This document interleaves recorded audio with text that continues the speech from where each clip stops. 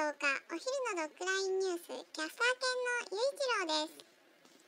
大リーグのイチローが古巣マリナーズとメジャー契約で合意間近であることが分かりました。12年にマリナーズからヤンキースへ移籍して以来6シーズンぶりの復帰となります。日米通算4358安打メジャー通算3080安打を記録し引退後に日米で殿堂入りすることが確実なレジェンドがメジャー27年目のシーズンを踏み出します。すっげえなイチロー僕と同じイチローでも大違いだな。以上ドッグラインニュースでした。